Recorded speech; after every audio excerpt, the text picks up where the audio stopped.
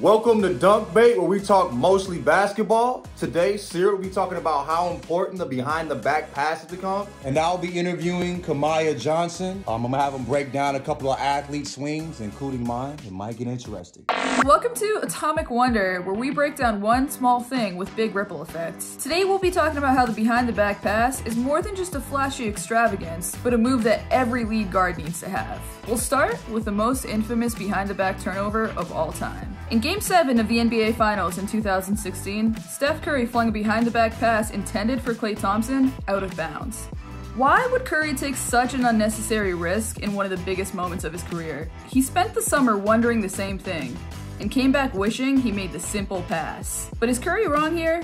All you need to do is look at J.R. Smith's face. He's wishing Curry would have thrown the so-called simple pass. A simple pass doesn't give Klay Thompson the extra second he needs to set his feet.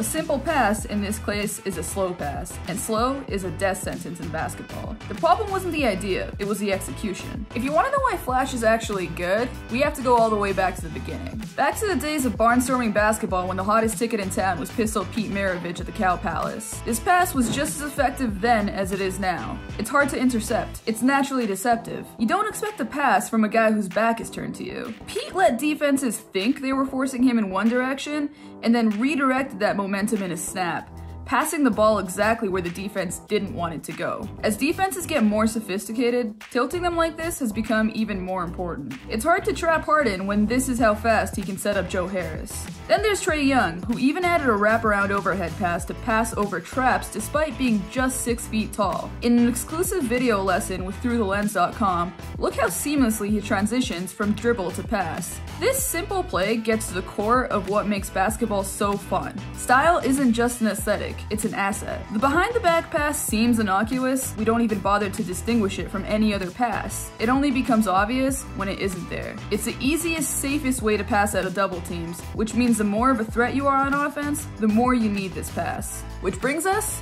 to Jamal Murray. Look how easily Jamal can make these pretty pocket passes to Jokic when he rolls. And now look what happens when he doesn't roll. Murray makes 20 passes a game to Jokic, but only one of them leads to a three-point attempt, even though Jokic is one of the best pick and pop threats. Lucky for Jamal though, he can get some help.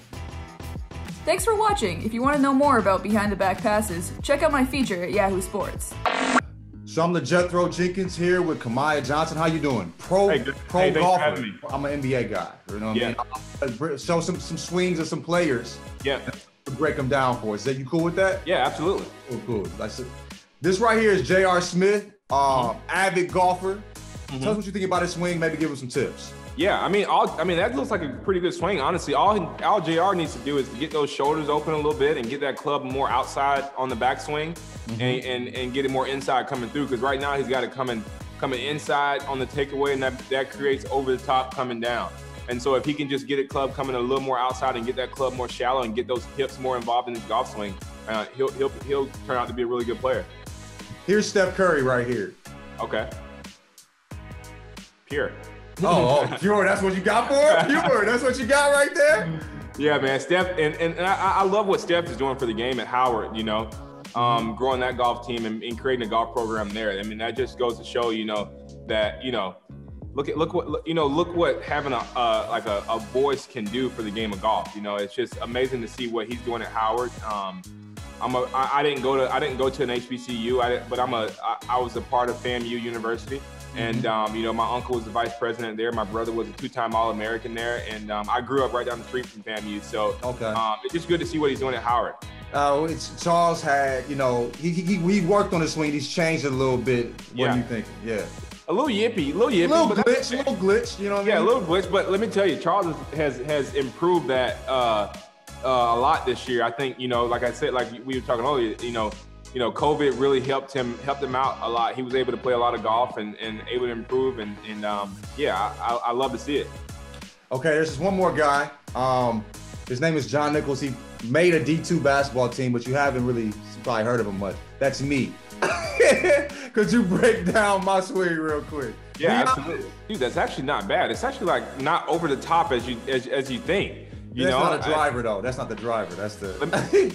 That's that's pretty good with an iron though. Where'd that ball go? That ball Um, started it, it, right? it, it, it, it started right, and ended up on the green, ended up on the green. We played a little Yeah, part. yeah. yeah, I think you just need to try to try to hit it more to left field. Mm-hmm. Um, get that club more down the line a little bit. But other than that, man, the backswing looks good. Um, like I said, get that club moving more on the outside on the takeaway. But all in all, man, I mean, you've been playing the game for six months. That's Six that months, looks yeah. really that looks really good. Well, appreciate you. I'm gonna tell my friends on the golf course. You feel me? Tell tell them tell them that you're not as trash as they are. Right, right. There we go. There we go. Hey, man, great talking to you. Appreciate it. Thank you, man. Thanks for having me, buddy. Appreciate it. Look forward Take to it. All right, so that's the show. I'm LaJethro Jenkins. I'm Seerat Sohi. Y'all be cool. Be safe out there.